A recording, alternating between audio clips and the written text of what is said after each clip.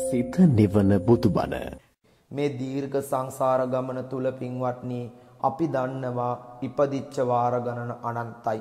ලෞතර බුදුරජාණන් වහන්සේ අනමතග්ග සංයුත්තේදී අපට දේශනා කරනවා අනමතග්ගෝ යම් වික්කවේ සංසාරෝ පුබ්බා කෝටින පඤ්ඤායති මහණෙනි මේ අනවරාග්‍ර වූ සංසාර ගමනේ ඉපදිච්ච වාර ගණන කියන්න පුළුවන් කමක් නැහැ. පුබ්බා කෝටින පඤ්ඤායති.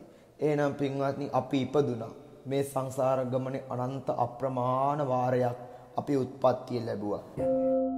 සිත නිවන බුදුබණ දායකත්ව ධර්මදේශනා පින්වත් ඔබත් මෙම දායකත්ව සුමුදුරු ධර්මදේශනාව අසා අන් අයටත් ශ්‍රවණය කිරීම සඳහා බෙදා හරින්න. දිනපතා නවතම ධර්මදේශනා ශ්‍රවණය කිරීමට අපගේ YouTube චැනලය දැන්ම සබස්ක්‍රයිබ් කර තබා ගන්න. බෙල් අයිකනය ක්ලික් කරන්න. අද සිත නිවන බුදුබණ බොරැල්ල ශ්‍රී ලංකාරාම විහාරවාසී පූජ්‍යපාද උණුවතුරු බුබුලේ පියදස්සී ස්වාමින් වහන්සේ සමන්තා චක්කවාලේසු අත්‍රා ගච්ඡන්තු දේවතා සද්ධම්මං මුනි රාජස්ස සුනන්තු සග්ග මොක්ඛදං ධම්මස්සවන කාලෝ අයම් බදන්තා ධම්මස්සවන කාලෝ අයම් බදන්තා ධම්මස්සවන කාලෝ අයම් බදන්තා නමෝ තස්ස භගවතෝ අරහතෝ සම්මා සම්බුද්දස්ස. නමෝ තස්ස භගවතෝ අරහතෝ සම්මා සම්බුද්දස්ස. නමෝ තස්ස භගවතෝ අරහතෝ සම්මා සම්බුද්දස්ස. සෝසාගරේ ජලදිකං රුදිරං අදාසි භූමින් පරාජ්‍ය සමං සමදාසිදානං මේරුප් උප්පමාන මදිකං සමෝලිසීසං තේකාරකාදි කතරං නයනං අදාසීති. සද්ධර්ම ශ්‍රාවක සිත නිවන බුදුබණ YouTube නාලිකාව ශ්‍රවණය කරන ශ්‍රද්ධා බුද්ධි සම්පන්න වාසනාවන්ත කාරුණික පින්වත්නි අදත් ඔබ සිත නිවන බුදුබණ YouTube නාලිකාවේ විකාශය වන ධර්මානුශාසනාවක් ශ්‍රවණය කරන්නටයි මේ සූදානම් වන්නේ. පින්වත්නි අද සිත නිවන බුදුබණ YouTube නාලිකාව තුලින් විකාශය වන මේ උතුම් වූ ධර්මානුශාසනාව වෙනුවෙන් දායකත්වයේගෙන කටයුතු කරන්නේ මහනුවර තලාතුවය බෞලාන අංක 38 නිවසේ පදිංචි දැනට ඩුබායිහි සේවයේ නියුතු සෝමා මහපිටිය පින්වත් මෑණියන් ඇතුළු රූපා බේසුන්දර පියොමි මදුෂානි කියන මේ පින්වත් පිරිස ඇතුළු ඒ මෑණිවරුන් ඇතුළු පිරිස විසින් තමයි අද මේ උතුම් වූ ධර්මානුශාසනාව වෙනුවෙන් දායකත්වයේ දරන්නේ. ඒ ඇත්තන්ගේ ප්‍රධාන අරමුණු බවට පත් වෙනවා පරලෝ සැපත් වන්නට යෙදුන එම්.ජී. උක්කු අම්මා මෑණියන් කේ මහපිටිය පියාණන් පොඩිමැණිකේ අම්මා සෝමපාල පියතුමා සෝමදාස අයියා ඇලඩින් ගාමිණී නිහාල් යන අයියලාත් ඒ වගේම රාලහාමි පුතා පී.ඩී. චාර්ලට් අම්මා ඇතුළු ඒ වගේම තමයි විශේෂයෙන්ම බලාපොරොත්තු වෙනම අපවත් වී වදාලා වූ දෙවගොඩ විපස්සනා හිමිපාණන් වහන්සේ ඇතුළු අපවත් වී වදාළ මහා සංඝරත්නයට පින් අනුමෝදන් කරන්න. ඉතින් පුණ්‍යානුමෝදනා ධර්ම දේශනාවක් තමයි අද මේ සිද්ධ වන්නේ ඒ ඇත්තන්ගේ ප්‍රධාන අරමුණු බවට පත්වන්නේ. ඉතින් මේ සෙසු අරමුණු කරුණු කාරණා ධර්මානුශාසනාව අවසානයේට සඳහන් කිරීමට ඉඩහසර තබාගෙන මේ ගෙවෙන වේලාව අපි ධර්මය ශ්‍රවණය කිරීම වෙනුවෙන්ම වැය කරමු. මේ ධර්මානුශාසනාව අවසානයේදීම ශ්‍රවණය කරන ඔබටත් දේශනා කරන මටත් අප සෑම සියලු දෙනාටමත් මගඵල පිළිවෙලින් සුඛපටිපදාවෙන් ප්‍රාර්ථනා කරන බෝධියකින් උතුම් චතුරාර්ය සත්‍ය ධර්මයම අවබෝධ වේවා කියන ප්‍රාර්ථනාව ඇතිව බණ අහන්නට සූදානම් වෙමු. පින්වත්නි අද ධර්මානුශාසනාව වෙනුවෙන් මාතෘකා කරගත්තා අපේ බුදුරජාණන් වහන්සේගේ පාරමිතා පූර්ණය පිළිබඳව තථාගතයන් වහන්සේ පාරමිතා පිරුවේ කොහොමද දාන පාරමිතාවට අදාළව උන්වහන්සේ පිරු පෙරුම්දම් පිළිබඳව තමයි අද ධර්මානුශාසනාවෙන් දේශනා කරන්නට බලාපොරොත්තු වන්නේ. මේ ධර්මානුශාසනාව අහලා පින්වත්නි අපිත් දාණයට හුරු කරපු අතක් හදාගමු. ඒ වගේම තමයි මේ ගෙවෙන මනුස්ස ජීවිතය කොය වෙලේ නම් මොන වගේ ආකාරයකට අවසන් වෙලා යයිද කියලා කියන්න බෑ. ඒ නිසා අපිට මේ මනුස්ස ජීවිතය අල්ප මාත්‍රයකුදු හෝ දාන පාරමිතාවක් පුරා ගන්න පුළුවන් නම් ඒකාන්තයෙන්ම සසර දුකින් එතර වෙන්න මාර්ගය සකසා ගන්නට පුළුවන්. ඉතින් බුදු කෙනෙක් අභියසදී අපි නිවන් දකින්න ප්‍රාර්ථනා කරනවා නම් හොඳට දාන පාරමිතාව වැඩිලා තියෙන්නට ඕන. පින්වත්නි දන් දීම කියලා කියන්නේ සියලුම බෝධිසත්වයන් වහන්සේලා අනුමත කරපු බුදුරජාණන් වහන්සේලා වදාරපු උතුම් දෙයක්. මේ ලෝකයේ පින්වත්නි අත්හැර ගැනීම දානේ වශයෙන් හඳුන්වනවා. ඒක පින්වත්නි ලෞකික වශයෙන්ුත් අපට අතාරින්න පුළුවන්. ඒ වගේම තමයි ආධ්‍යාත්මික වශයෙන් මනසින් සියල්ල අතහැරලා ජීවත් වෙන්න පුළුවන්. ලෞකික වශයෙන් සියල්ල අතාරිනවයි කියලා කියන්නේ එයා මනසින් අල්ලගන්නේ නැහැ කොහොමත්ම. මොකද ලෞකික වශයෙන් අපි මේ තියෙන ධන දාන්නේ භවභෝග සම්පත් මේවා පින්වත්නි දන් දීම තුල මානසිකව අල්ලා නොගැනීමක් එතන අපේ තියෙනවා. මානසිකව අල්ලාගෙන කිසිම වෙලාවක දෙන්නත් බෑ. හැබැයි මෙහෙම කාරණාවක් තියෙනවා. මොකද්ද කාරණාව? යමෙක් මේ දන් දෙද්දී දීලා ඉවර වෙලා ඒවා කියවනවා නම් අල්ලගෙන හිතේ තියාගෙන ඉන්නවා නම් ඒකත් දන් නොදුන්නා හා සමානයි. දීලත් පින්වත්නි කියවන්න යනවා නම් එහෙම නැත්නම් දීලා තමන්ගේ ඔය නොයෙක් විදිහට මේවා හිතේ තියාගෙන ප්‍රකාශ කරනවා නම් පින්වත්නි ඒ දාණයෙන් කිසිම පළක් ප්‍රයෝජනයක් නැහැ. දන් දෙනවා කියලා කියන්නෙම පින්වත්නි අතහැරියා කියලා කියන එකයි. ඒ නිසා කිසිම මොහොතක කිසිම දෙයක් අල්ලගන්නේ නැහැ. අතහැරලා දන් දෙන කෙනා. ඉතින් පින්වත්නි අපේ බෝධිසත්වයන් වහන්සේ සංසාර ගමන තුල මේ දාන පාරමිතාව තුන් ආකාරයකට පූර්ණය කළා. ඒ තමයි දාන පාරමී, දාන පරමත්ත පාරමී, දාන උපපාරමී කියලා. දාන දාන උපදාන පරමත්ත කියන ආකාරයට තුන් ආකාරයකට මේ පාරමිතා පිරුවේ උන්වහන්සේ පින්වත්නි සංසාර දුකටපත් වෙලා ඉන්න සත්වයාව සදාටම මේ සසර දුකින් මුදවන්න. මොකද එදා දීපංකර පාදමූලයේදී පින්වත්නි උන්වහන්සේට පුළුවන්කම තිබුණා රහත් ඵලය ලැබලා එවෙලේම සසර දුකින් අත මිදෙන්න. නමුත් අපේ ලෞතුරා බුදුරජාණන් වහන්සේ ඒ සුමේද තාපසවදීයේදී බෝධිසත්ව කාලෙදී උන්වහන්සේ Taman අතටපත් වෙච්ච රහත් ඵලය ඉවත් කරලා සියලු ලෝක සත්වයා කෙරෙහි හිතානුකම්පාවෙන් දයානුකම්පාවෙන් යුක්තව මේ දාන පාරමිතාව පූර්ණය කරන්න පටන් ගත්තා. ඒ වගේම තමයි දස පාරමිතාවන්වම පූර්ණය කරමින් උන්වහන්සේ මේ ලෞතර බුද්ධ රාජ්‍ය අවබෝධ කරගත්තා.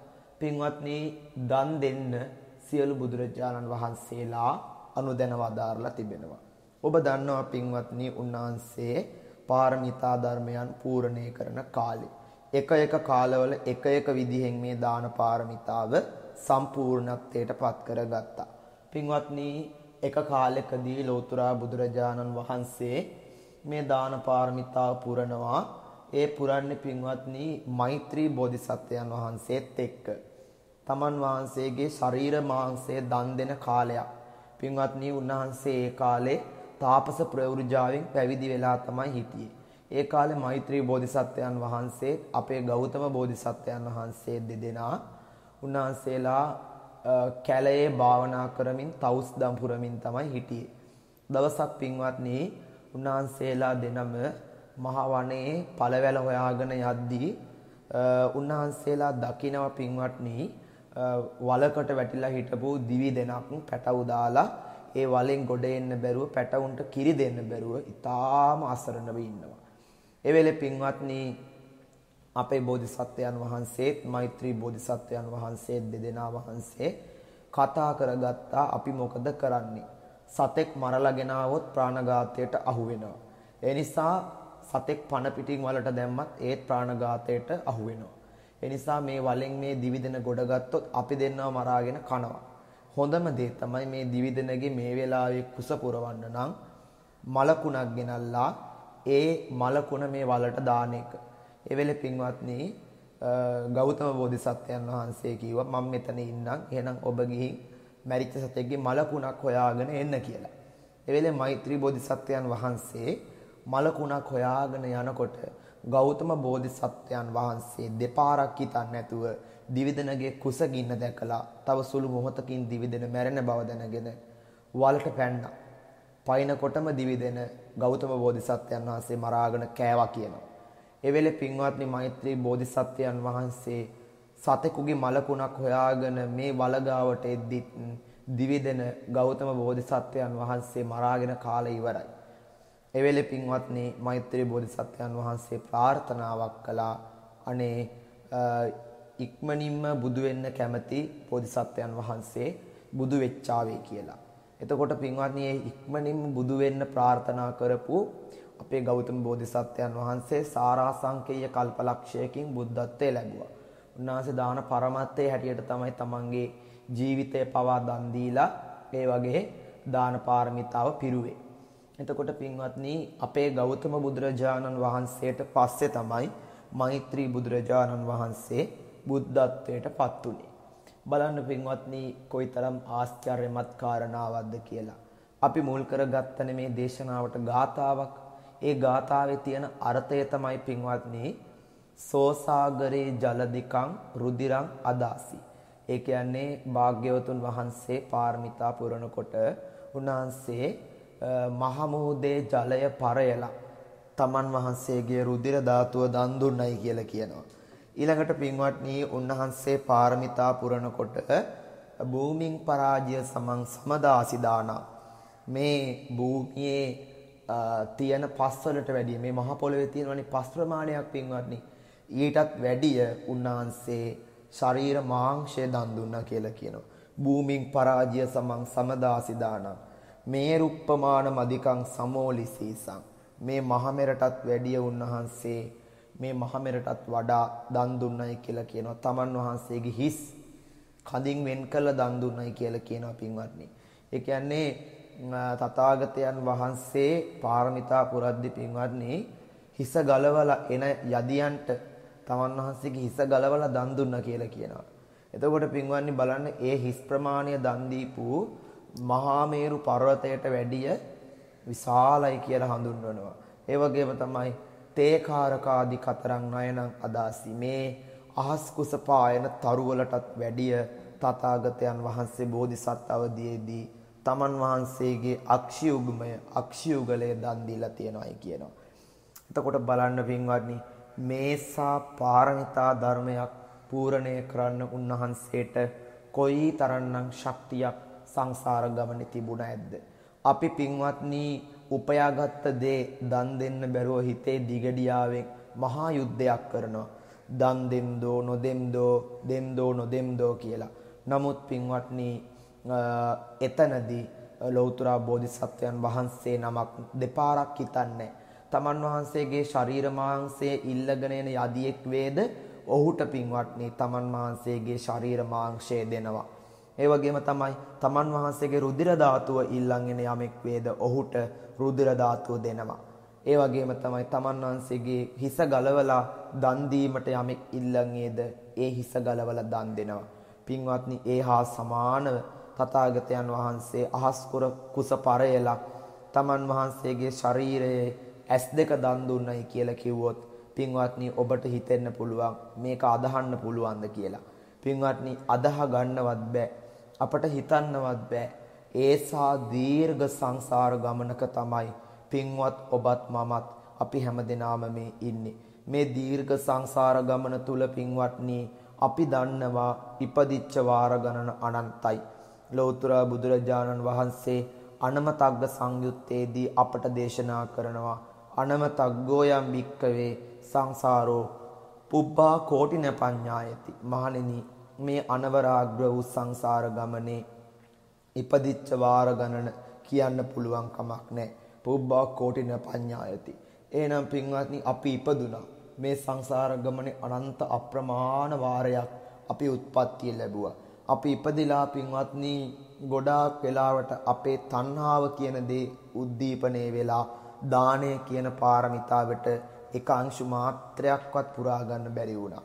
නමුත් මේ ජීවිතයේදී පින්වත්නි බුදුදහමින් පෝෂණය වෙච්ච දෙමව්පියන්ට දාව ඉපදිලා ඒ වගේම තමයි අපි මේ ආත්ම භාවයේදී හොඳ බෞද්ධ අම්මා කෙනෙක් තාත්තා කෙනෙක්ගේ කුසේ උත්පත්තිය ලැබලා එතකොට පින්වත්නි ප්‍රඥාවත් අපට ලැබිලා තියෙනවා. මේ වගේ බණපදයක් අහන්නේ ප්‍රඥාව තියෙන ඇත්තෝ විතරමයි. ඉතින් එහෙම ප්‍රඥාවක් තිබිලා පින්වත්නි අපිට මේ සංසාර ගමනින් නිදහස් වෙන්න දාන පාරමිතා පුරා ගන්නට බැරි නම් ඒ ඒකෙන් කිසිම වැඩක් නැහැ පින්වත්නි මේ මනුස්ස ජීවිතයෙන්. ඒ නිසා මේ ලැබූ දුර්ලභ ආත්ම භාවය අපි අර්ථ සම්පන්න කර ගන්න නම් හොඳට දාන පාරමිතාව පුරාගෙන තියෙන්න ඕනේ. දාන පාරමිතාව පුරාගත්ත කෙනාට පින්වත්නි ආයි එතනින් එහාට ඒකාන්ත වශයෙන් එයාගේ ජීවිතය සුගතිගාමි තත්ත්වයට පත් කර ගන්න පුළුවන්. මොකද දන් දීපු අය තමයි සුගතියට යන්නේ. දානය කියලා කියන්නේ පින්වත්නි සග්ගස්ස සෝපාන. ස්වර්ගයට තබන සෝපානයක් වගේ. බලන්න පින්වත්නි එදා අනාථපිණ්ඩික මහසිටුතුමා විශාකා මහෝපාසිකාව සුජාතාව වගේ උත්තමය උත්තමාවියෝ අනාථපිණ්ඩික සිටුතුමා පින්වත්නි තමන්ගේ රජ සිටු මාලිගාවේ දිනපතාම බුද්ධ ප්‍රමුඛ සංඝයා 500 නමකට දානේ පූජා කළා කියනවා. හැමදාම පින්වත්නි හොඳම විශේෂයෙන් යුක්ත ආහාර පාන සකසලා එතුමා භාග්‍යවත් බුදු පියාණන් වහන්සේ ප්‍රමුඛ සංඝයාට දන් දුන්නා කියලා කියනවා දානශාලාවක් කරවලා. එතුමා කොච්චර දුප්පත් වුණත් අවසාන මොහොතේ එතුමා මොකද කළේ? එතුමා පින්වත්නි බොහෝම ශ්‍රද්ධාවෙන් භක්තියෙන් යුක්තව කාඩි හොදුයි නිවුඩු හාලේ බතුයි හරි දන් දුන්නයි කියලා කියනවා. දන් දෙන්න පළපුරුදු කෙනාට පින්වත්නි ආයි දන් දෙන්න කියලා දෙන්නට ඕන නැහැ.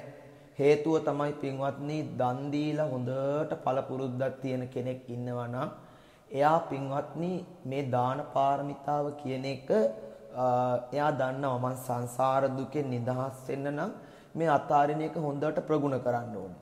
ඒ නිසා පින්වත්නි එයා මේ අතෑරීම කියන කාරණාව හොඳට ප්‍රගුණත්වයට පත් කරගෙන එයා දන් දීලා හොඳ පළපුරුද්දක් ඇති කර ගන්නවා.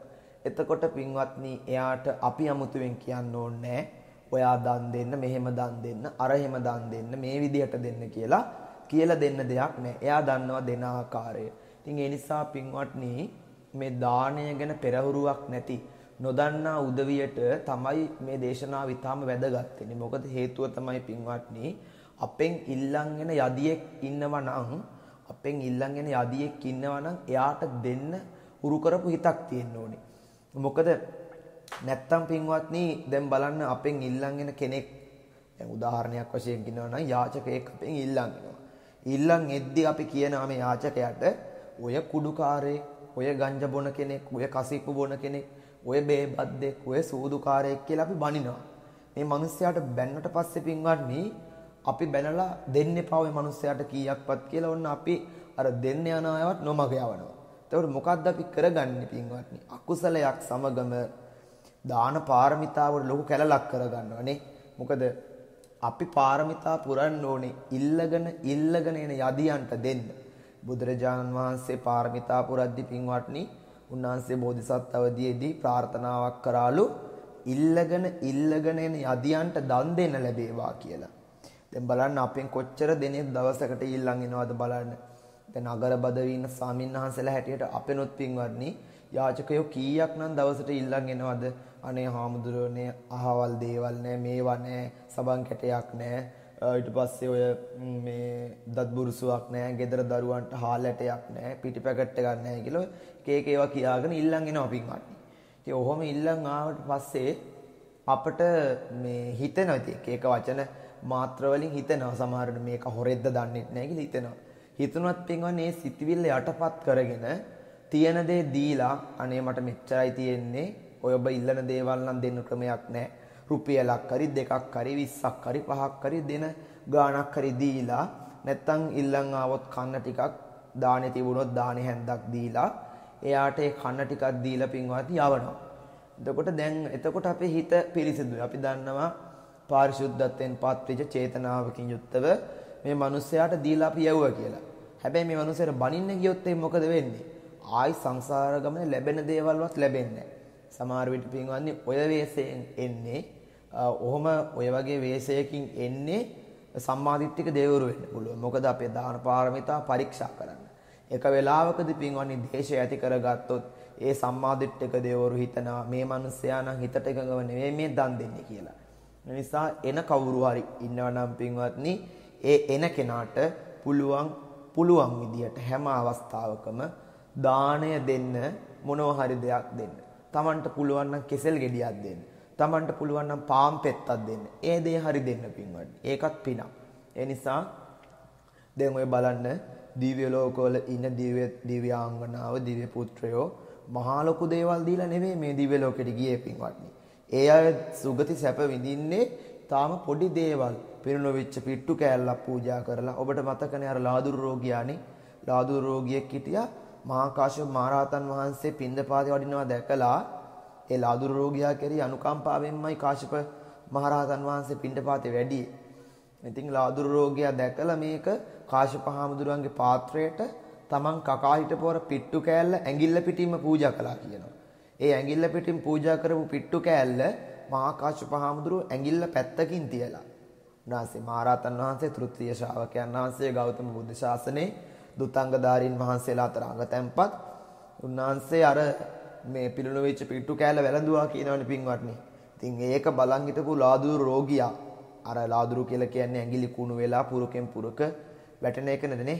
එතකොට ඒ ඒ ඒ පුරුෂයා පින්වත්නි ඒක බලන් ඉඳලා ඒ සිතුවිල්ල ඇති කරගත ප්‍රීති සිතින් යුක්තව මෙයා ඉපදුනා කියන සුගතියේ සුගතියේ ඉපදලා පින්වත්නි දිව්‍ය සම්පත් අනුභව කර කර ඉන්නවා. මුගලන් හාමුදුරුව පිණිසිගා වඩිනකොට දිව්‍ය ලෝකයේ දේවචාරිකාවේ යනකොට පින්වත්නි මුගලන් හාමුදුරුව අහනවා ඒ විමානය දැකලා මේ විමානය කාගේද කියලා. ඊට පස්සේ විමානයේ හිටපු දිව්‍ය පුත්‍රයා ඇවිල්ලා කියනවා ස්වාමීනි මගේ විමානය මොන වගේ පින්කමක් කරලාද ඔබ මේ විමානයට ආවේ මේ ලස්සන රත්තරන් එල්ලෙනවා මැණික් කැට එල්ලෙනවා ආහාර පාන නානාවිධ පළතුරු වර්ග වතු වලින් යුක්තව මේවා සුකෝපභෝගීව ජීවත් වෙනවා මේවා වලින් ආඩ්‍යව ජීවත් වෙනවා මේවා ලබන්න ඔබ කරපු පින්කම මොකක්ද කියලා අහනවා. ඒ වෙලේ පින්වත්නි අර දිව්‍ය පුත්‍රයා කියනවා ස්වාමීනි පෙර ආත්ම භවයේ මම ලාදුදු රෝගියෙක්. මේ ගෞතම බුදු සසුනේ තෘතීය ශ්‍රාවකයන් වහන්සේ මහා කාශ්‍යප මහරහතන් වහන්සේ පිණ්ඩපාතේ වඩිද්දී මම පිළිණු වෙච්ච පිට්ටු කෑල්ලක් අකා හිටියා. මගේ ශ්‍රද්ධාවන්ත හදවතින් මම ඒක උන්වහන්සේගේ පාත්‍රයට පූජා කළා. අනේ ස්වාමීනි ඒ පූජා කරනකොටම උන්වහන්සේ මට පේන්න මේ පිට්ටු කෑල වැළඳුවා කියනවා මගේ කුණු වෙච්ච ඇඟිල්ලක් පාත්‍රයට වැටුණා මේක පැත්තකින් තියලා උන්වහන්සේ මේක වැළඳුවා කියලා කියනවා ස්වාමීනි ඒ කරගත්ත පින් බල මහිමයෙන් තමයි අද මම මේ සුගතියේ ඉන්නේ අන්න බලන්නේ දිව්‍ය පුත්‍රයා කියනවා පින්වත්නි අද සමහරු කියනවා මස් මාංශ පූජා කිරීම අකැපයි කියලා මස් මාංශ දෙන්න එපා කියලා සමහර වෙලාවට මස් මාංශ පන්සල් වලට අරන් යන්නේ මස් මාංශ වලින් යුක්තව දන් දෙන්නේ. හැබැයි පින්වනි කකුළු මස් පූජා කරපු දිව්‍ය පුත්‍රයෙක් දිව්‍ය ලෝකේ ඉන්නවා. කියවල බලන්න විමානවත්තු පාළියේ කරකටක රසදායක දිව්‍ය පුත්‍රයාගේ කතාව. පින්වත්නි කකුළු මස් ව්‍යංජනයක් පූජා කරලා දිව්‍ය ලෝක ඉපදුනේ මේ මහරහතන් වහන්සේ නමකට තමයි කකුළු මස් ව්‍යංජනයක් පූජා කළේ. ඒ කකුළු මස් ව්‍යංජනේ මහරහතන් වහන්සේ වැළඳුවා පින්වත්නි. ඒ වැළඳුවාට පස්සේ මේ මිනිස්සයා සතුටු වෙලා අනේ මගේ මේ මාංශ දාණය මුන්නන්සේ වැළඳුවානේ කියලා පින්වත්නි අර මිනිස්සයා එදා හවසම ගොනෙක් ඇනලා එහෙම නැත්නම් එළදෙනක් ඇනලා මේ මිනිස්සයා මලා මැරිලා ගිහින් පින්වන්නේ සුගතියේ ඉපදුනා. මේ මිනිස්යාගේ නම තමයි කරකටක රසදායක දිව්‍ය පුත්‍රයා. මෙයාගේ පින මතක් කරන්න මෙයාගේ විමානයෙන් ලස්සන කකුලුවෙක් එල්ලෙනවා කියනවා පල්ලෙහාට. මොකද මෙයාගේ පින සිහිපත් කරලා දෙන්න. ඉතින් ඒ නිසා පින්වත්නි මේකනම් හරිම ආශ්චර්යයි හරිම අద్భుතයි. මොකද පින කියලා කියන්නේ දැන් අපි කියනවා ස්වාමීන් වහන්සේලාටම මස් හදනවා ස්වාමීන් වහන්සේලාටම සත්තු මරනවා කියලා එහෙම නෙවෙයි. ස්වාමීන් වහන්සේලාට දන්වන්නේ නැතුව ඒ කියන්නේ ස්වාමීන් වහන්සේලා දැනගන්නෙත් නැතුව මේ කොහොමද මේක හැදුවේ කියලා දන්නෙත් නැතුව ඒ වගේම තමයි ස්වාමීන් වහන්සේලා වෙනුවෙන් නොමරපු සතෙක්ගේ මාංශය පූජා කරොත් ඒකෙන් පිනක් රැස් වෙනවා පින්වත්නි. මොකද බුදුරජාණන් වහන්සේ දේශනා කරන්නේ ත්‍රිකෝටික පාරිශුද්ධ මාංශයක් ගැන භාග්‍යතුන් වහන්සේ වදාරනවානේ. මහා සංඝරත්නය වෙනුවෙන් නොමරපු මහා සංඝරත්නයටම කියලා පිළියෙල නොකරපු යම් දානයක් තියෙනවා නම් දැන් හාමුදුරුන්ටම කියලා කියලා පිළියෙල කරන්නේ නැතුව යම් දානයක් තියෙනවා නම් පින්වත්නි මාංශ දානයක් ඒක වළඳන්න කැපයි කියලා කියනවා භාග්‍යතුන් වහන්සේ. ඉතින් ඒ නිසා පින්වත්නි මේ මාංශ දානය කියන දේ පූජා කළත් ආනිසංශයක් තියෙනවා. ඒ නිසා පින්වත්නි හරීම තමන් දැනගන්න හරිම පරිස්සමට මේ දේ කරන්න මොකද නැත්තම් හැමෝම මරලා කුකුල්ලු ගවයෝ එළුවෝ හරක් මරලා හාමුදුරුන්ට මස් පිළියෙල කරගෙන යයි. එහෙම නෙවෙයි. හාමුදුරුන්ට මස් මාස දානයක් පූජා කරනවා නම් ඒ පූජා කරන මාංශ දානය අර ත්‍රිකෝටික පාරිශුද්ධත්වයට අයිති වෙන්න ඕන පින්වත්නි.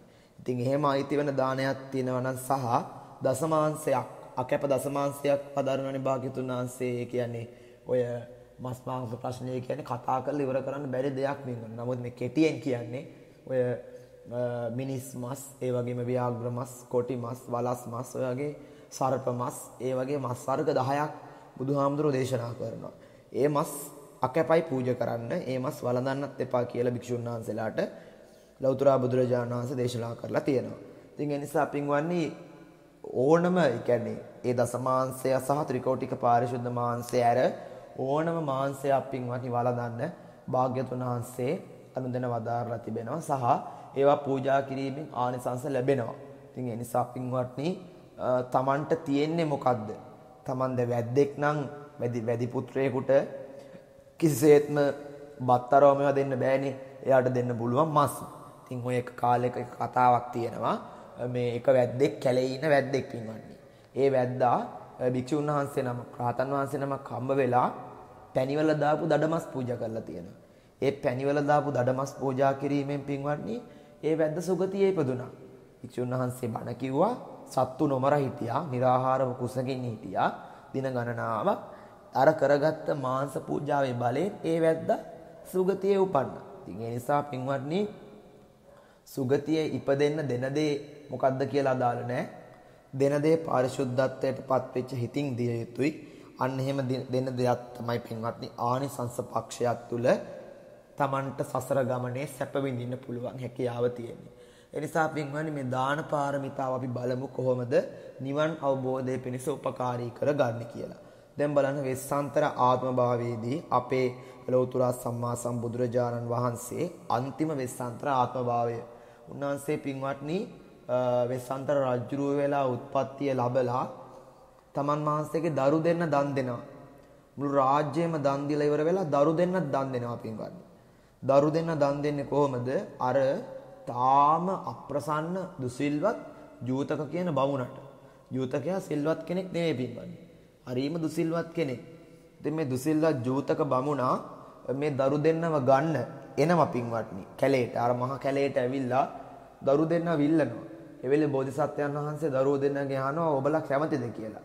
අනේ දරුවෝ දෙන්න පින්වත්නි කැමැත්තෙන් නමුත් උන්වහන්සේ හිත තද කරගෙන පැන් කෙන්ඩියෙන් පැන්වක් කරලා දරුවෝ දෙන්නව ජූතක බමුණට දන් දෙනවා. ඒ වෙලේ මහ පොළොව කම්පා වෙනවා කියලා කියනවා පින්වත්නි. වෙස්සන්තර රජුරු කීප විටක් මහ පොළොව කම්පා කළානේ දන් දීම තුලින්. ඉතින් ඒ නිසා පින්වත්නි ඒ වෙලේ මහ පොළොව සාක්ෂි දරනවා. අනේ මේ උත්තමයන් වහන්සේ තමන් වහන්සේගේ ලෙයින් උපන් දරුවෝ දෙන්නව දන් දෙනවා දන් දුන්නා නේද කියලා. ඒ වෙලේ පින්වත්නි මෙන්න මේ විදියට දන් දීලා ජූතක බමුණා දරුවෝ දෙන්නව අරගෙන යනවා මේ මහා කැලේ මැදින්. රාජ්‍යයේ මැදින් අරන් තමයි වෙස්සන්තර රජුරුවන්ගේ පියමහ රජුරුවෝ අර දරුවෝ දෙන්නව ජූතක බමුණගෙන් නිදහස් කරගන්නේ. බලන්න දාන පාරමිතාවට සම්පූර්ණ වුණා දරුවෝ දෙන්න දන් දීමනේ. ඊළඟට තමන් වහන්සේගේ බිරිඳව ප්‍රියාදර බිරිඳක් කොහොමද ස්වාමියෙකුට දන් දෙන්න පුළුවන්. නමුත් වෙස්සන්තර රජුරෝ ඒ දේ කළා පින්වත්නි. කොහොමද වෙස්සන්තර රජුරෝ පින්වන්නේ තමන්ගේ බිරිඳව ගන්න ආපු වෙස්වලාගෙන බමුණු වෙසක් අරගෙන ආපු සක්‍ර දේවේන්ද්‍රයන් වහන්සේට තමන් වහන්සේගේ බිරිඳව අතෙන් අල්ලලා දන් දුන්නා. දන් දුන්නේ කොහොමද බිරිඳගෙන් අහනවා ඔබලා ඔබ කැමතිද මගේ දාන පාරමිතාව පූර්ණේ කරගන්න මොහුට දාණය වෙන්න. ඒ වෙලේ අර පින්වත් උත්තමාවිය කියනවා මන්ද්‍රී දේවිය ස්වාමිනී මම කැමතියි කියලා. ඒ වෙලේ තමයි පින්වත්නි අර මන්ද්‍රී දේවිය සක්‍ර දේවේන්ද්‍රයාගේ අත අල්ල දන් දෙන්න යද්දී සක්‍ර දේවේන්ද්‍රයන් වහන්සේ නියම සක්‍රවේශයේ මවාගෙන අහසට පැන නැගිලා කියන්නේ ස්වාමීනි මහ බෝධිසත්වයන් වහන්සේ ඔබ වහන්සේගේ දාන පාරමිතාව සියල්ලම අංග සම්පූර්ණයි දැන්. ඒ කියන්නේ දාන දාන උපදාන පරමත්ත කියන විදිහට දාන පාරමිතාව අංග සම්පූර්ණයි. ඒ නිසා ඔබ වහන්සේ බුද්ධත්වයට සුදුසුයි කියලා සක්‍රදේවේන්ද්‍රයන් වහන්සේ එදා කියනවා. එවෙලෙ පින්වත්නි එවෙලෙ මහ පොළොව කම්පා වෙනවා. මොකද ගෞතම බෝධිසත්වයන් වහන්සේ පාරමිතා පුරලා ඉවරයි. එතකොට දාන පාරමිතාව සම්පූර්ණ කරගත්තා උන්වහන්සේ. ඒ වගේ පින්වත්නි අපිත් අපේ දාන පාරමිතාව අල්ප මාත්‍රයකට හරි අංග සම්පූර්ණ කරගන්න ඕන නම් අපි උපරිම උත්සාහයක් ගන්න ඕන පින්වත්නි මේ ජීවිතේදී පුළුවන් හැකි හැම අවස්ථාවකම ඉල්ලගෙන එල්ලගෙන එන්නේ කවුද? එයාට දන් දෙන්න මට හැකියාව ලැබේවා කියලා. එනිසා පින්වත්නි මේක නිවනට පාරමිතාවක් කරගන්න පුළුවන් මේ දාන පාරමිතාව නිවන් අවබෝධ කරගන්න. මේ උතුම් චතුරාර්ය සත්‍ය අවබෝධය ලබන්නට මේක පාරමිතාවක් කරගන්නට පුළුවන්. එනිසා ඔබ උපරිමයටම උත්සාහයක් ගන්න මම මේ ජීවිතේදී දාන පාරමිතාව අංග සම්පූර්ණත්වයට පත් කරගන්නවා. මේ සියල්ලම මම අතාරිනවා. ලෞකික වශයෙන්ුත් අතාරිනවා, මානසික වශයෙන්ුත් මම මේක අතාරිනවා. අතෑරලා මම සසර දුකෙන් නිදහස් වෙන මාවත හොයා ගන්නවා කියලා අදිෂ්ඨානයක් ඇති කරගන්න පින්වත්නි. එතකොට තමයි අපේ දාණයට පාරමිතා ටික අංග සම්පූර්ණත්වයට පත්වන්නේ. අපි පින්වත්නි මේ ජීවිතේදී රැස් කරගන්න කිසිම දෙයක් අරගෙන යන්නේ නැහැ. අපි දන්නවා මේ ජීවිතේදී කොතෙකුත් දේවල් රැස් කරගත්තත් මරණ මංචකයේදී ඒ සියල්ලම දාලා යන්න වෙන බව. මැරෙන මොහොතේ පින්වත්නි කාටවත් කිසි දෙයක් අරගෙන යන්න බෑ. දැන් මේ ලෝකේ ඉන්නවා පින්වත්නි බොහෝ දෙනෙක් රැස් කරගත්ත දේවල් තියෙනවා. ඒ රැස් කරගත්ත දේවල් පින්වත්නි අවසානයේ Tamanටත් නෑ Tamanගේ දරුවන්ටත් නෑ අරගෙන යන්නේ බැරි තැනටපත් වෙනවා. ලෝභාධික මිනිස්සු, තෘෂ්ණාධික මිනිස්සු පින්වත්නි ධනය හංගනවා. බැංකු පොත්වල දාලා හංගනවා. ඊට පස්සේ පින්වත්නි එක එක තැන්වල වල දාලා හංගනවා. මේ වගේ තැන්වලදී පින්වත්නි අපි දැනගන්න ඕනේ. ඔබ දන්නවා නේද අර සවැට් නුවර ආනන්ද සිටුවරයාගේ කතාව. එයා පින්වත්නි ආනන්ද සිටුවරයා මේ ධනය හංගල හැම තැනම හතර මහා නිදානේ වල දාලා මැරුණේ. එයා බල්ලෙක් වෙලා ඉපදෙනවා පින්වත්නි ආනන්ද සිටුවරයා. ඒ වෙලේ මුලසිරි සිටු පුත්‍රයා ආනන්ද සිටුවරයාගේ පුතා බල්ලෙක් වෙලා ඉපදුනාට පස්සේ තාත්තා ගෙදරට එනවා මේ බල්ලා. ගෙදරට ආවට පස්සේ බුදුරජාණන් වහන්සේ මේ බල්ලව මුලසිරි සිටුවරයාට කියනවා මේ බල්ලා ඔබේ තාත්තා. මෙයා හොඳට නාවලා කවලා පොවලා නිදි කරවන්න හොඳ යහනාවක. නිින්ද යාගෙන ඉද්දි අහන්න කියනවා හතර මහ නිදානේ හැංගුවේ කොහෙද කියලා. එදා පින්වත්නි අර මුලසිරි සිටුවරයා අකමැත්තෙන් නමුත් මේ දේ කළා. තමන්ගේ තාත්තා කියලා පිළිගන්න අකමැති මුලසිරි සිටුවරයා. මොකද මේ තාත්තා කිව්වේ මැරෙන්න කලින් මීමැස්ස රොම්බඳින්න වාගේ ධනෙ හොයපන්. එහෙම කියලා තමයි තාත්තා කිව්වේ. හැබැයි පින්වත්නි අවසානයේ තාත්තා බල්ලෙක් කියලා උපන්න කියලා ඇහුවට පස්සේ පිළිගන්න අමතකයි. පිළිගන්න අමාරුනා. මොකද එතුමා කිව්වේ ආනන්ද සිටුවරයා කිව්වේ මම මැරිලා ගිහින් සුගතියේ ඉපදෙනවා. මං දිව්‍ය ලෝකෙට යන්නේ. එනිසා ඔබත් දිව්‍ය ලෝකෙින් යන්න ඕන නම් රැස් කරපන්. දන් දෙන්න එපා කියලා. අන්න ඒ නිසා පින්වත්නි ආනන්ද සිටුවරයා බල්ලෙක් කියලා උපන්න කියලා පිළිගන්න අකමැති නමුත් මේ බුදුරජාණන් වහන්සේගේ බුද්ධ වචනය බොරු කරන්න ඕනේ කියලා හිතලා මුලසිරි සිටුවරයා බල්ලව නිදි කරවල යහනාවක සතපවලා නිින්ද යාගෙන ඉද්දි අහනවා තාත්තේ ධනේ කොහෙද හැංගුවේ හතර මහ නිදානේ හංගපු තැන් පෙන්වන්න කියලා. එවෙලේ පින්වත්නි බල්ලා නිදි කලංගාතෙම නැගිටලා මාලිගාවේ හතර පැත්ත හාරනවා. එවෙලේ බුදුහාමුදුරුව වදාරනවා සේවකයන්ට මුලසිරි සිටුවරයාගේ සේවකයන්ට භාග්‍යතුන් වහන්සේ වදාරනවා ඔබලා ගිහිල්ලා ඔය හාරන තැන්වල හාරලා බලන්න කියලා. එවෙලේ හාරන හාරන හැම තැනම හතර මහා නිදාණය මතුවෙනවා. මාලිගාවේ හතර පැත්තේ වල දාලා තියෙන්නේ.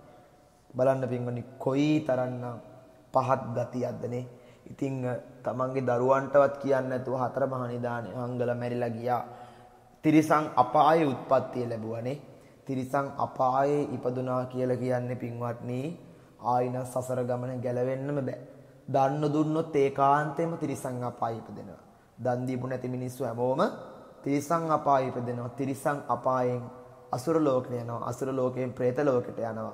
පෙරේත ලෝකෙන් නිරයට යනවා. එනිසා කවදාවත් සුගතියක් ලබන්න බෑ. දන් දෙන්නම ඕනේ පින්වත්නි සුගතියක් ලබන්න. තෘෂ්ණාවෙන් තණ්හාවෙන් ගොඩගසා ගත්තා කියලා කිසිම දවසක සුගතියක් ලබන්න බෑ. අද පින්වත්නි ගොඩාක් දෙනෙක් දන් දුන්නත් දන් දෙන්නේ මහ ලොකුවට දන් දෙන්නේ නෑනේ. ඔය පේන දන් දෙන මිනිස්සු පිරිසකුත් ඉන්නවා. පේන දුන්නට වැඩක් නෑ පින්වත්නි. හිතින් අතෑරලා දුන්නේ නැත්තම්. අද සමහරව ඉන්නවා තමන්ගේ මේ ගොඩාක් දෙනෙක් ඉන්නවා පින්වත්නි තමන්ගේ නාමය ඉස්මතු කරගන්න තමන්ගේ නම තියාගන්න දන් දෙනවා. සමහර විට එක විහාරස්ථානයක් අල්ලගෙන ඒ විහාරස්ථානයේ හදලා තමන්ගේ නම ප්‍රසිද්ධ කරගන්න ඒ විහාරස්ථානයේ නම දානවා. ඊට පස්සේ පින්වත්නි තමන්ගේ ඔය බදු වලින් නිදහස් වෙන්න ගොඩක් අය ඉන්නෝනේ ආදායම් බදු වලින් නිදහස් වෙන්න වගේ දේවල් වලින් නිදහස් වෙන්න දන් දෙනවා පින්වත්නි. ඒවා එතකොට අපි බදු වලින් නිදහස් කරන්න අපි මේ වගේ දන් දෙනවා. අපි රටට මේ වගේ සේවයක් කරනවායි කියලා සමහරු එහෙම ඉන්නවා පින්වත්නි. අපි ඇස් දෙකට දැකලත් තියෙනවා. ඒ වගේ අය මුණ ගැහිලත් තියෙනවා අපිට. ඉතින් එහෙමයි ඉන්නවා පින්වත්නි. කොහොම හරි දන් දෙන එක හොඳයි. නමුත් අර ඒ වගේ හිතේ අර එකක් තියාගෙන, කටේ එකක් තියාගෙන, අතේ එකක් තියාගෙන දන් දෙන්න හොඳ නැහැ. මොකද එහෙම වුණොත් පින්වත්නි Tamanට තමව වංක පුද්ගලයෙක් බවට පත් වෙනවා. දෙන දේ හිතින් අතෑරලා දිය යුතුයි. ආයි අල්ලගෙන දෙන්න හොඳ නැහැ. අතෑරලා දෙනකොට පින්වත්නි තමන්ගේ ජීවිතයේදී යමෙක් දානයේ වශයෙන් අතාරිනවා නම් එයාට ඒකාන්තේ මිලඟාත්මේ සුගතිය ලැබෙනවා.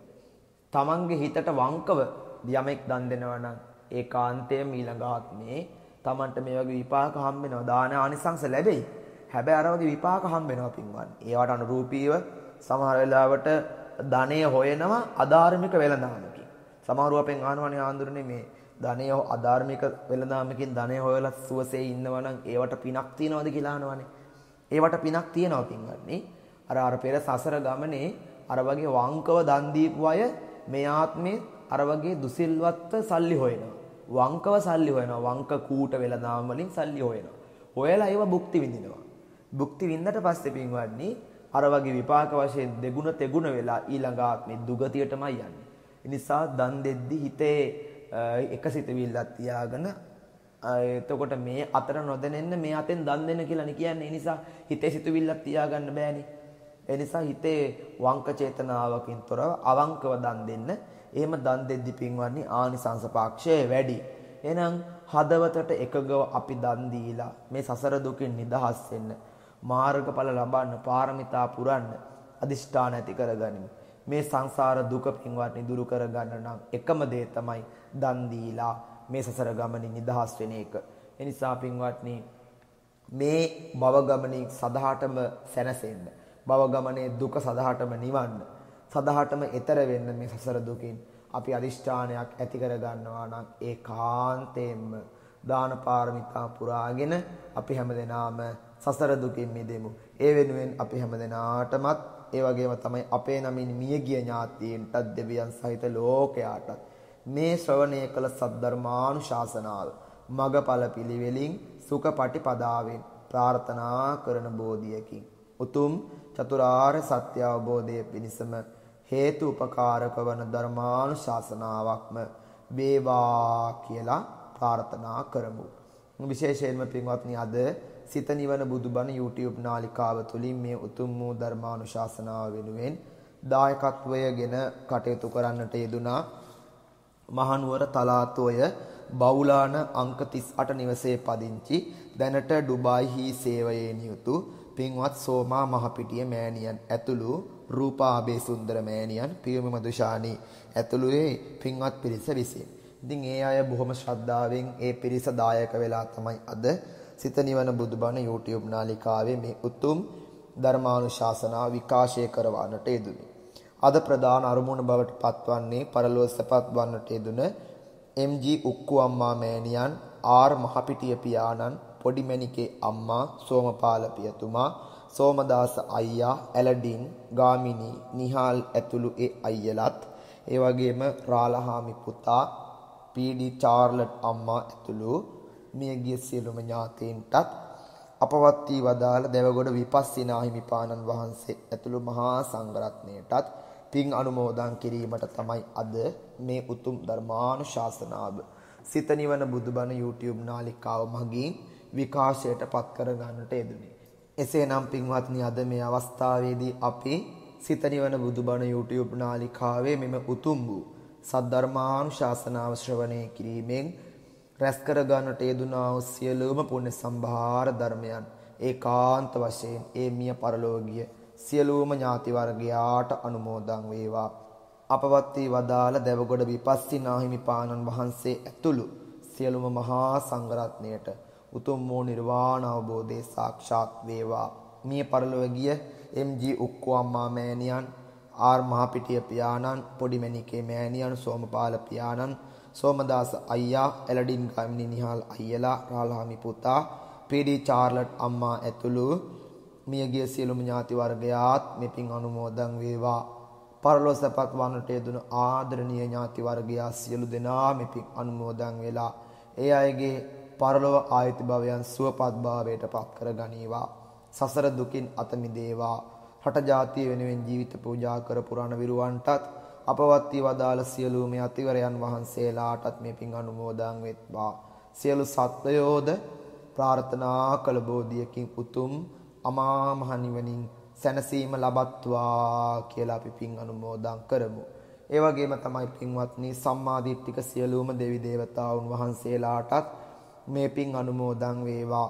දෙදෙව්ලොවට අධිපති සක්‍ර දේවේන්ද්‍ර දිව්‍ය රාජෝත්තමයාණන් වහන්සේ ඒ වගේම බ්‍රහ්ම ලෝක 20කට අධිපති සහම්පති මහා බ්‍රහ්ම රාජෝත්තමයාණන් වහන්සේ මේ පින් අනුමෝදන් වෙත්වා. උන්වහන්සේලා ඇතුළු සමස්ත දේවගණයේ දේව සමූහයා බ්‍රහ්ම රාජවරු මේ පින් අරගෙන සියලු සත්වයෝ සියලු දෙවියෝ සියලු බ්‍රහ්මයෝ සියලු භූතයෝ ප්‍රාර්ථනා කරන බෝධියකින් උතුම් අමා මහ නිවනින් සැනසෙත්වා කියලා අපි පින් අනුමෝදන් කරමු. ඒ වගේම තමයි පින්වත්නි අද මේ අවස්ථාවේදී මහනුවර තලාතුය බෞලාන අංක 38 නිවසේ පදිංචි දැනට ඩුබායිහි සේවයේ නියුතු සෝමා මහපිටිය පින්වත් මෑණියන් ඇතුළු රූපාබේ සුන්දර මෑණියන් පියුමි මදුෂානි ඇතුළු පිරිස තමයි අද මේ දේශනාව වෙනුවෙන් දායකත්වයේ දරන්නට යෙදුනේ. ඒ ඇත්තන් හැමෝම බොහොම ශ්‍රද්ධාවන්තයි. ඒ සෝමා මහපිටිය අම්මා බොහොම ශ්‍රද්ධාවෙන් අපට කතා කරලා මේ අපේ සිත නිවන බුදුබණ YouTube නාලිකාවේ ධර්මානුශාසනාවක් පවත්වා ගැනීමට අවශ්‍ය බව සඳහන් කළා. ඉතින් ඒ වෙනුවෙන් තමයි අපි මේ ධර්මානුශාසනාව අද ඒ මෑණියන් ඇතුළු ඒ ඇත්තන්ගේ දායකත්වයෙන් පවත්වන්නට යෙදුනේ. එසේනම් පින්වත්නි ඒ අම්මලා විදෙස්ගත වෙලා ඉඳගෙන කරන රැකී ආරක්ෂා ව්‍යාපාර වෙලෙහළඳාම් ආදී සියලු කටයුතු දියුණු වේවා සාර්ථක වේවා ඒ පින්වත් අම්මලාටත් ඒ දායකත්වයේ දරූ සියලු දෙනාටමත් නිදුක් නිරෝගී සුවපත් භාවය දීර්ඝාය සම්පන්නිය ලැබේවා. කරන කියන කටයුතු සියල්ලම සාර්ථක වේවා. ආයුරාරෝග්‍ය සම්පන්නිය උදා වේවා. මේ දිනවල පැතිරීගෙන යන COVID-19 වසංගත උවදුරින් ඔබේ ජීවිතය ආරක්ෂා වේවා. විශේෂයෙන්ම ආශිර්වාද කරන්න බලාපොරොත්තු වෙනවා. රෝගාතුරව සිටින්නා වූ ගුණතිලක මහපිටිය ලොකු අයියාටත් ඒ වගේම ප්‍රසාද් මදුෂාන් පුතා ඇතුළු පවුලේ සැමටමත් නිදුක් නිරෝගී සුවය ප්‍රාර්ථනා කරනවා. විශේෂයෙන් මේ රෝගාතුර වෙලා ඉන්න ගුණතිලක මහපිටිය ලොකු අයියාට නිදුක් නිරෝගී භාවයේ චිරජීවනයේ ලැබේවා. ප්‍රසාද් මදුෂාන් පුතා ඇතුළු පවුලේ සැමටමත් සිත සාන්තිය සුවය යහපත සැනසුම උදාපත් වේවා. හැම දෙනාගේම සිතුම් පැතුම් බලාපොරොත්තු ප්‍රාර්ථනාවන් එලෙසින්ම ඉටු වේවා සමෘද්ධිමත් වේවා කියලා අපි ආශිර්වාද ප්‍රාර්ථනා කරන ගමන් ජයශ්‍රී මහා බෝධින් වහන්සේගේ දනනා හාමුදුරුවන් වහන්සේගේ ද්‍රෝණයක් ධාතුන් වහන්සේලා වැඩ වාසය කරන උතුම් වූ ස්වර්ණමාලී මාසෑරදුන් වහන්සේගේ අනන්ත ආශිර්වාදයේ බලයේ ශක්තිය. පින්වත් ඔබ හැම දිනාටම ලැබේවා ලැබේවා ලැබේවා. සියලු සත්වයෝ සුවපත් වෙත්වා සුවපත් වෙත්වා සුවපත් වෙත්වා කියන ආශිර්වාදයේ ප්‍රාර්ථනාව ඇතිව ඒ වගේම සිත නිවන බුදුබණ YouTube නාලිකාවේ කාර්ය මණ්ඩලයේ සියලු දෙනාටමත් නිදුක් නිරෝගී භාවය චිරජීවනය ලැබේවා කියලා ආශිර්වාද ප්‍රාර්ථනා කරමින් හැමදෙනාටම මේ රැස් කරගත් සියලුම පුණ්‍ය සම්භාර ධර්මයන් බණ ඇසූ ඔබටත් දේශනා කළ මටත් ඒ වගේම ලක්වැසි ලොවැසි සියලු දෙනාටමත් මේ ගෝර කටුක භයංකර දුක්ඛිත සංසාර ගමනෙන් එතරව ප්‍රාර්ථනා කරන බෝධියකින් මඟඵල පිළිවෙලින් සුඛපටිපදාවෙන් උතුම් චතුරාර්ය සත්‍ය අවබෝධය පිණිසම මේ උතුම් ධර්මානුශාසනාවත් හේතු වාසනා වේවා උතුම් වූ නිර්වාණ අවබෝධය වහවහාම අපි හැමදෙනාටම සාක්ෂාත් වේවා කියලා ප්‍රාර්ථනා කරමු. උතුම් බුදු ගුණ නිරන්තරයෙන් දෙසූ දලදා සමිදු සරණයි. නුවන් සනහන කැලනිමියුගුණ සෑරදුන් සිලු මිනෙහි සරණයි. සමන්ගිරහිස පහන් කරමින් තැබූ මුනිසිරි පතුලේ සරණයි. නිවන් දකිනා ජාති දක්වා. අප සැමට තුනු රුවනේ සරණයි. ගෙයින් පිටවී නැවත එනතුරු අපිට බුදු ගුණ පිහිට වේවා. කරන්නට යන සියලු කටයුතු සිතන අයුරින් සපල වේවා. සිතින් වචනින් කයින් සිදුවන සියලු අකුසල් දුරු කෙරේවා. බුදුන් දම් සඟ රුවනේ බලයෙන් සද්දා කල් සෙත් දීරැකේවා. සාදු සාදු සාදු.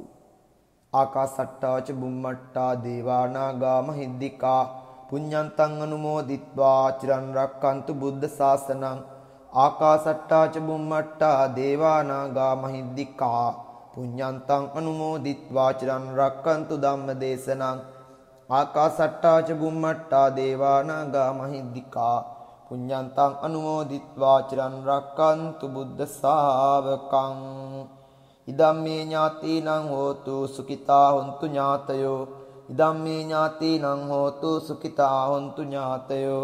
ඉදම්මේ ඥාතිනං හෝතු සුඛිතා හොන්තු ඥාතයෝ. අභිවාදන සීලිස්ස නිච්ඡං බුද්ධාපචායිනෝ චත්තාරෝ ධම්මා වඩ්ඩಂತಿ. ආයුවන්නෝ සුකම් බලං ආයුරාරෝග්‍ය සම්පatti. සග්ග සම්පatti මේවච අතෝ නිබ්බාන සම්පatti. මිනාතේ සමිජ්ජතු. හැමදෙනාටම සම්මා සම්බුදු සරණයි. සිත නිවන බුදුබණ දායකත්ව ධර්මදේශනා පින්වත් ඔබත් මෙම දායකත්ව සමුදුරු ධර්මදේශනාව අසා අන් අයටත් ශ්‍රවණය කිරීම සඳහා බෙදාහරින්න දිනපතා නවතම ධර්මදේශනා ශ්‍රවණය කිරීමට අපගේ YouTube චැනලය දැන්ම සබස්ක්‍රයිබ් කර තබා ගන්න. බෙල් අයිකනය ක්ලික් කරන්න.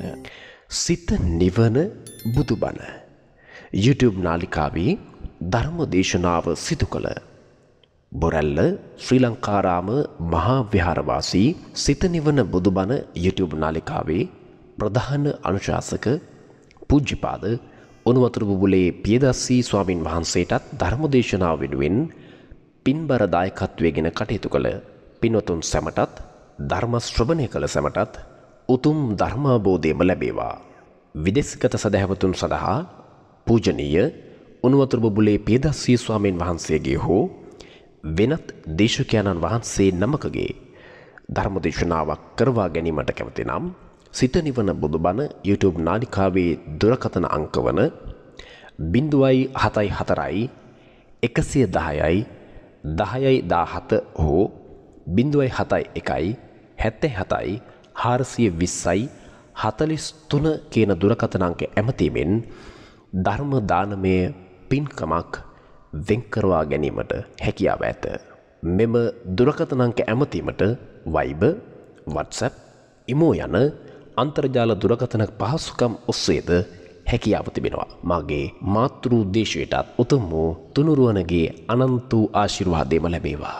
ඔබ සැමට සම්මා සම්බුදු සරණයි.